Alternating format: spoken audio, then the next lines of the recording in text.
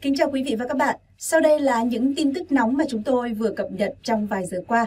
Quý vị đừng quên like và chia sẻ video để nhiều khán giả cùng biết đến quý vị nhé. Thưa quý vị, trong bản tin ngày hôm nay sẽ có những tin chính sau đây.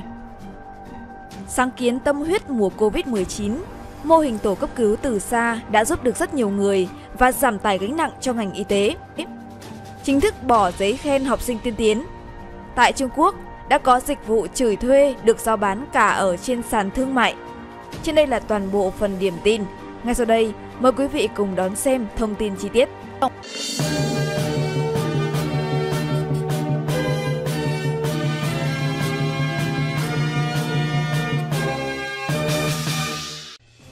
Sáng kiến tâm huyết mùa Covid-19, mô hình tổ cấp cứu từ xa đã giúp được rất nhiều người và giảm tài gánh nặng cho ngành y tế.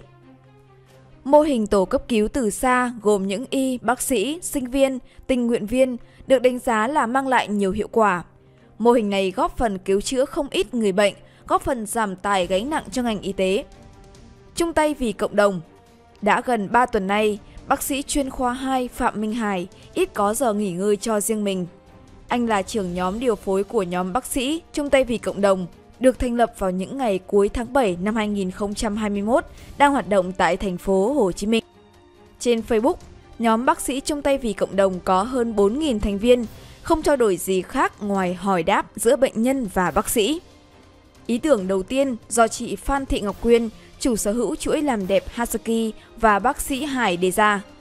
Nhóm hoạt động với sự điều phối chuyên môn của bác sĩ Phạm Minh Hải trên nền tảng về công nghệ và nhân sự hỗ trợ của doanh nghiệp – với page, group Facebook, kênh Zalo và hotline 1800 64642 phục vụ bệnh nhân miễn phí.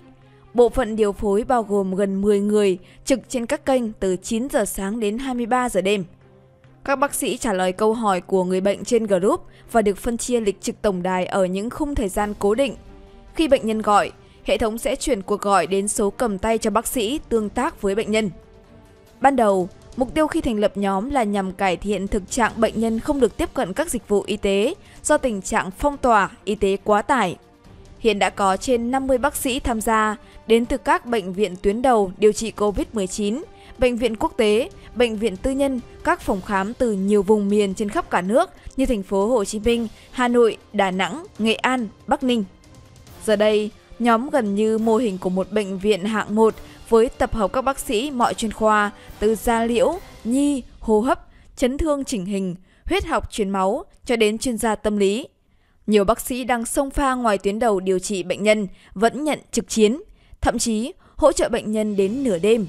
Chúng tôi cố gắng không bỏ rơi bất cứ bệnh nhân nào cần đến mình, bác sĩ Phạm Minh Hải cho biết. Bác sĩ tai mũi họng Nguyễn Huy Tú hiện làm việc tại phòng khám đa khoa quận Hoàn Kiếm, Hà Nội – biết đến bác sĩ chung tay vì cộng đồng qua lời kêu gọi đăng trên trang của Đại học Y khoa Hà Nội và tham gia từ những ngày đầu. Mỗi ngày, từ Hà Nội, anh khám cho nhiều bệnh nhân Sài Gòn bằng cách trả lời tin nhắn hoặc là gọi điện trực tiếp. Như cách đây vài hôm, bác sĩ Tú nhận yêu cầu giúp đỡ từ một người chồng sống trong khu phong tỏa cho biết vợ mình đau vùng thượng vị, đau ngực khi hít sâu. Qua thăm khám, bác sĩ Tú đã chẩn đoán trường hợp này có thể điều trị tại nhà và kê thuốc, theo dõi bệnh. Đến nay, người vợ đã hết các triệu chứng đau, sinh hoạt bình thường. Nhóm bác sĩ chung tay vì cộng đồng đã phối hợp chặt chẽ với các đơn vị cung cấp oxy miễn phí. Sau khi thăm khám, chẩn đoán, bác sĩ nhấn nút là phía đơn vị cung cấp oxy lập tức lên đường đến để ứng cứu bệnh nhân. Mỗi ngày, nhóm tiếp nhận hỗ trợ trên 30 ca bệnh. Tới nay, đã có hàng ngàn bệnh nhân được hỗ trợ từ xa như thế. Mô hình cần nhân rộng Thời gian này, bác sĩ Trần Ngọc Lưu Phương, trưởng khoa nội soi tiêu hóa Bệnh viện Nguyễn Tri Phương đang đảm nhận nhiều vai trò, vừa tham gia điều trị COVID-19, là thành viên của nhóm bác sĩ chung tay vì cộng đồng, lại là cụm trường của Tổ y tế từ xa, Đại học Y khoa Phạm Ngọc Thạch. Được thành lập gần 20 ngày và có 2 tuần chạy nháp, Tổ y tế từ xa do các thầy cô trường Phạm Ngọc Thạch lập đã phát huy hiệu quả tích cực nếu như bác sĩ chung tay vì cộng đồng tận dụng ưu thế về quy trình, công nghệ của doanh nghiệp và sự chung sức của nhiều bác sĩ cả nước, thì tổ y tế từ xa lại là một đội mạnh phát huy được sức mạnh của hơn 100 bác sĩ và hơn 600 sinh viên với quy trình chuẩn và chuyên nghiệp. Tổ chia thành 10 cụm, mỗi cụm chia thành 10 đội, 100 đội ấy phụ trách 20 quận huyện. Mỗi cụm có một cụm trường và một cụm phó là bác sĩ, giảng viên của trường. Sinh viên phụ trách tiếp nhận thông tin người bệnh, liên kết với cụm nơi bệnh nhân cư trú. Các sinh viên năm thứ 5, thứ 6 được một bác sĩ trẻ kèm liên hệ, lắng nghe, ghi chép triệu chứng của bệnh nhân và chuyển bệnh án cho bác sĩ phụ trách. Những ca bệnh nghiêm trọng sẽ được chuyển đến bác sĩ cụm trường. Với những trường hợp cần được hỗ trợ trực tiếp, đội hậu cần kết hợp cùng với đơn vị cung cấp oxy, mang theo oxy, thuốc men đến nhà bệnh nhân. Theo bác sĩ Lưu Phương, đây cũng là cơ hội giúp sinh viên hiểu thêm ý nghĩa của hai từ y đức. Một trường hợp ở Thủ Đức có gia đình nhiễm COVID-19. Cụ ông 80 tuổi, sốt, ho và khó thở, chỉ số oxy trong máu chỉ còn dưới 92%. Người cháu học y tá, chưa ra trường, liên hệ đến tổ y tế từ xa. Thông qua cuộc gọi video, bác sĩ Lưu Phương đã hướng dẫn người cháu sử dụng máy cô đặc oxy hỗ trợ cho ông cụ, rồi cách đếm nhịp thở, hướng dẫn mua thuốc theo phác đồ của Sở Y tế. Diễn tiến bệnh được người nhà quay clip, nhắn tin báo cáo đều đặn ngày hai lần. Cụ ông sau đó đã qua khỏi cơn nguy kịch và ổn định sức khỏe. Theo bác sĩ Lưu Phương, bệnh nhân COVID-19 được can thiệp, xử lý kịp thời ở ngay những triệu chứng đầu sẽ giúp ngăn ngừa sự tăng nặng, biến chứng, góp phần giảm gánh nặng cho tuyến đầu. Cạnh đó, nhiều ca bệnh khác cũng đã được tổ y tế từ xa cấp cứu tại nhà, thoát hiểm thành công để kịp thời chuyển đến bệnh viện điều trị. Bác sĩ Phương cũng chia sẻ, cái khó của hầu hết các mô hình nằm ở khâu hậu cần. Điều này cần có sự góp sức, chung tay của nhiều lực lượng trong xã hội. Ngày 18 tháng 8 vừa qua, tổ đã thông báo đi vào hoạt động chính thức với hotline 0289 999 9115 nhà trường sẽ gửi thư đến Ủy ban Nhân dân quận huyện mong muốn sự phối hợp, hỗ trợ để mô hình đạt hiệu quả cao hơn. Bởi vậy, mô hình y tế từ xa được đánh giá là sáng kiến hữu hiệu của ngành y tế Sài Gòn trong những ngày dịch bệnh phức tạp. Chính thức bỏ giấy khen học sinh tiên tiến Việc khen thưởng danh hiệu học sinh tiên tiến từ trước đến nay sẽ không còn tồn tại theo quy định mới về đánh giá học sinh trung học cơ sở và trung học phổ thông của Bộ Giáo dục Đào tạo – áp dụng từ lớp 6 năm nay và với các khối lớp khác ở những năm tới. Bộ Giáo dục Đào tạo vừa ban hành thông tư 22-2021 TT-BGGDT quy định về đánh giá học sinh trung học cơ sở và trung học phổ thông. Theo thông tư này, ở phần khen thưởng, hiệu trưởng sẽ tặng giấy khen thưởng cuối năm học, bao gồm khen thưởng danh hiệu học sinh xuất sắc đối với những học sinh có kết quả rèn luyện cuối năm học được đánh giá là mức tốt, kết quả học tập được đánh giá mức tốt và có ít nhất 6 môn học được đánh giá bằng nhận xét kết hợp với bằng điểm số, có điểm trung bình đạt từ 9 điểm trở lên. Khen thưởng danh hiệu học sinh giỏi đối với những học sinh có kết quả rèn luyện và kết quả học tập cả năm được đánh giá ở mức tốt, có nghĩa là phải có 6 môn đạt 8 điểm trở lên và các môn đều phải trên 6,5. Hiệu trưởng nhà trường cũng có thể tặng giấy khen thưởng học sinh có thành tích đột xuất trong rèn luyện và học tập trong năm học. Như vậy, nếu so với các thông tư trước đây, việc khen thưởng danh hiệu học sinh tiên tiến không còn tồn tại Trao đổi với Vietnamnet, ông Nguyễn Xuân Thành, vụ trưởng vụ giáo dục trung học, Bộ Giáo dục Đào tạo cho hay, đây chỉ là vấn đề kỹ thuật đặt ra tên gọi cho các mức khen thưởng. Trước đây, chúng ta có khen thưởng danh hiệu học sinh tiên tiến và học sinh giỏi, thì nay đưa ra các mức khen thưởng học sinh giỏi và học sinh xuất sắc. Về cơ bản, chỉ là cách gọi các mức khen thưởng. Khái niệm tiên tiến trước đây liên quan đến việc đánh giá hạnh kiểm từ loại khá trở lên – còn danh hiệu học sinh xuất sắc và học sinh giỏi, giờ đây đánh giá mức đạt được yêu cầu phẩm chất và năng lực học sinh.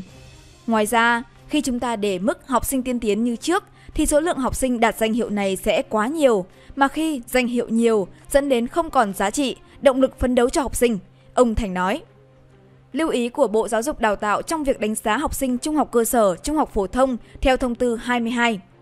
Ông Vương Văn Lâm, trưởng phòng giáo dục đào tạo huyện Hoài Đức đánh giá So với cách xếp loại cũ, thông tư mới có thêm mức khen thưởng cho danh hiệu học sinh xuất sắc đối với những em học sinh có kết quả rèn luyện tốt, kết quả học tập tốt và có ít nhất 6 môn trung bình trên 9.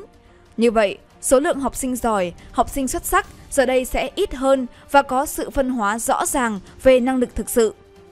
So với trước đây, trong một lớp có nhiều học sinh chưa thực sự giỏi nhưng vẫn được khen thưởng.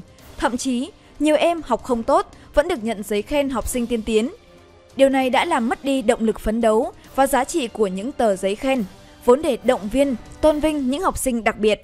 Do đó theo ông Lâm, với cách đánh giá tới đây, học sinh giỏi phải là giỏi thật, không đạt là không đạt, cần phải tránh sự mập mờ theo kiểu động viên danh hiệu tiên tiến. Tại Trung Quốc, đã có dịch vụ chửi thuê được giao bán ở cả trên sàn thương mại. Dịch vụ chửi thuê, cãi hộ được giao bán công khai trên sàn thương mại.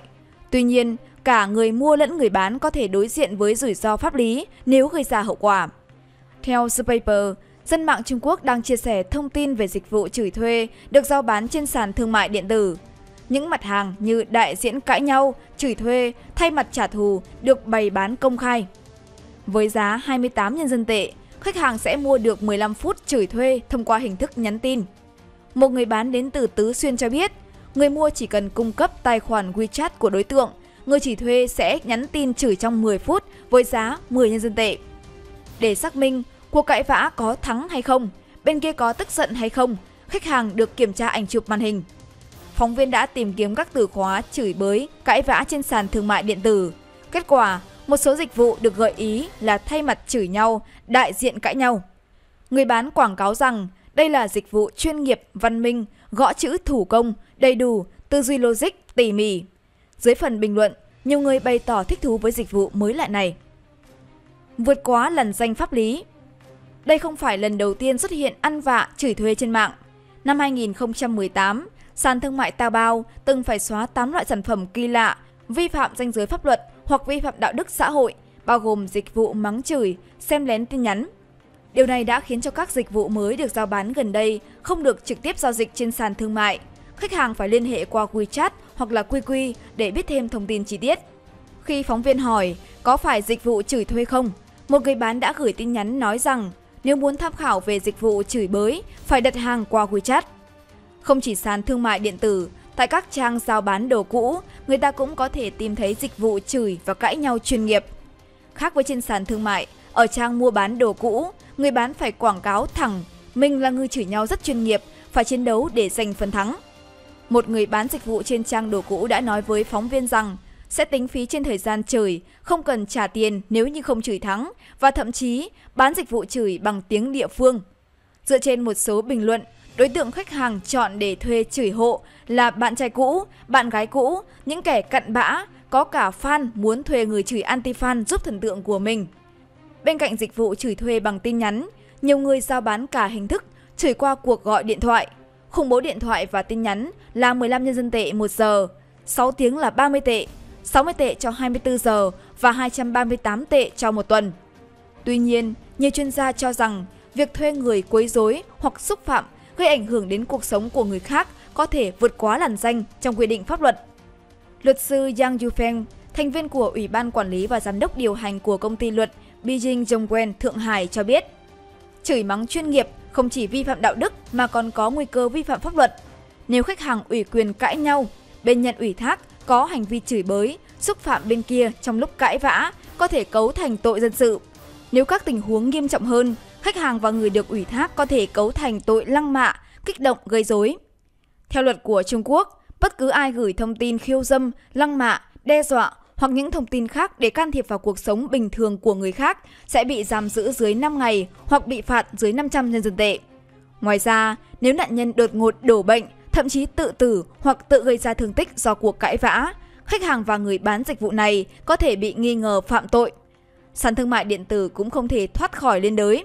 Chuyên gia cảnh báo người dân không nên mua bán dịch vụ này để tránh rủi ro pháp lý.